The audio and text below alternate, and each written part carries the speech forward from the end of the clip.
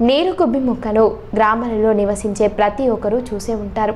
ఇవి మనకు పిల్ల కాలువలలో చెరువులలో కుంటలలో పొలాలలో ఎక్కడైతే నీరు అధికంగా ఉంటుందో ఆ ప్రాంతాలలో మనకు ఈ నీరు గొబ్బి మొక్కలు కనిపిస్తూ ఉంటాయి. ఈ మొక్కకు వాడిన పదునైన ముళ్ళు ఉంటాయి. ప్రతి కనుప కనుపకు బంతిలాగా ఉండి ఆ బంతి చుట్టూ ముళ్ళు ఉంటాయి.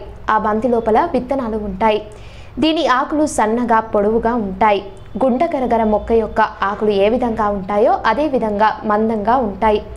మరి ఈ మొక్కని ఆయుర్వేదంలో ఏ విధంగా ఉపయోగిస్తారో ఇప్పుడు తెలుసుకుందాం. కిడ్నీలలో ఉన్న రాళ్ళను తొలగించడానికి ఈ నీరు గొప్పి మొక్క ఎంతగానో ఉపయోగపడుతుంది.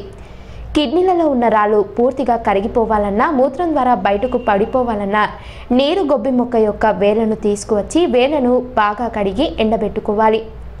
అలాగే పల్లెటూళ్ళలో చెట్టు మొక్క యొక్క వేలు అలాగే ఆముదం మొక్క యొక్క వేళ్ళను ఈ మూడింటి వేలను తీసుకువచ్చి విడివిడిగా ఎండబెట్టుకొని విడివిడిగా దంచుకొని పొడిలాగా చేసుకోవాలి. ఈ మూడింటిని కలిపి భద్రపరచుకోవాలి. ప్రతిరోజు ఒక స్పూనుడు తీసుకోవాలి. ఒక గ్లాసుడు ఆవు పాలలో వేసుకొని ఉదయం ఒకసారి రాత్రి పడుకునే ముందు తాగుతున్నట్లయితే మూత్రనాళంలో ఉండే రాళ్ళు మూత్రం ద్వారా పడిపోతాయి. గ్రామాలలో మరియు గిరిజన పల్లెలలో నార్మల్ డెలివరీలు తొంభై శాతం ఎక్కువగా అవుతాయి.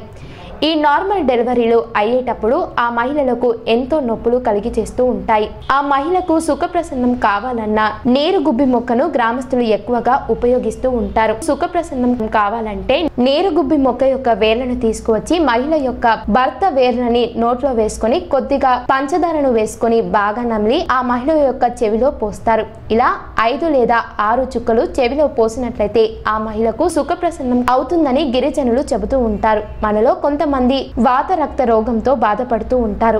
ఇలా వాత రక్త రోగం వచ్చిందంటే శరీరం మొత్తం నల్లబడిపోతూ ఉంటుంది. అక్కడక్కడ పప్పుల్లాగా పొడుస్తాయి. చిన్న చిన్న పుండులాగా తయారవుతాయి.